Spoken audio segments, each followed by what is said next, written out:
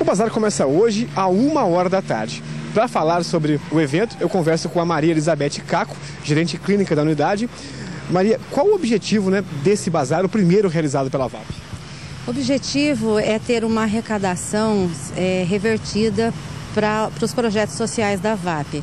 É, vários comerciantes da cidade aderiram à nossa causa e vão expor seus produtos e a venda, parte da venda, é, um percentual da venda vai ser revertido para a VAP, né? E para os projetos sociais que a gente gostaria de ampliar os atendimentos. O que, vai ser vendido nesse bazar?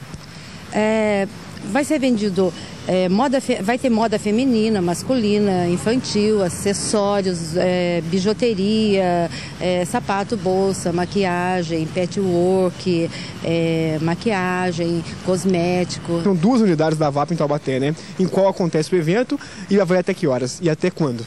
Então, nós temos duas unidades. É na rua 15 de novembro, que é o Centro de Reabilitação Clínica, e a unidade é, Centro de Convivência Rural, que fica no quilômetro 8 da rodovia Oswaldo Cruz. Mas nós tivemos né, a, a, a, chance de ter assim um lugar cedido, um espaço cedido para a gente estar tá promovendo esse bazar, que é no buffet Giratóis, que fica na Avenida Marechal Deodoro, número 4 é, 437, né, ali próximo ao Carrefour Bairro. Então é um espaço que comporta né, a exposição que a gente está querendo estar tá fazendo e as pessoas e ter um espaço maior de circulação para as pessoas. Muito obrigado, Maria Elizabeth, pelas informações.